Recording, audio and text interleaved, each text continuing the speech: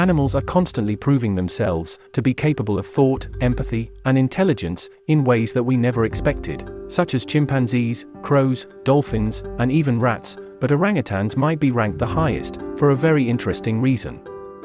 Much like chimpanzees, orangutans are able to use tools and learn sign language. They have a complex social structure that involve rituals, and the fact that they share over 97% of their DNA with humans, but what really sets them apart is their cognitive ability to understand the why or reasoning behind a certain action.